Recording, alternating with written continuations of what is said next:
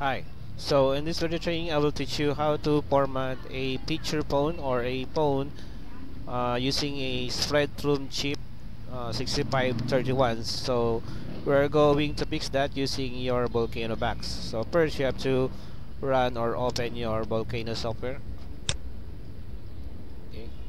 And then we will choose this SPD tab here and I will choose the boot number 65 boot, boot built-in boot 156531 now I'm going to format this uh, Spreadtrum Cherry Mobile W17 because it gives error when I'm using or, or, or when I'm inserting a SIM card. So it says uh, illegal power use so I will choose to format this one.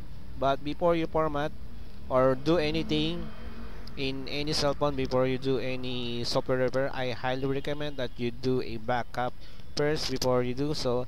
I have already backup this phone and now I will go I will proceed to format okay? And I have uh, we have uh, training about how to backup okay? So I will now proceed to format. Click here okay? And then connect all the necessary cables for your phone. So in this case I'm using the jig number P-05B connected to the uh, data cable of the Volcano okay so I will click start here. Just press yes and it says it says here. Then reload it. So okay okay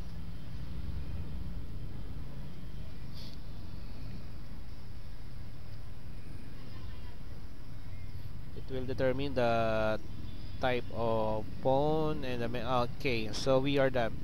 That is how to factory reset a uh, SPD phone using uh, your Volcano box okay? So that's all for in this video training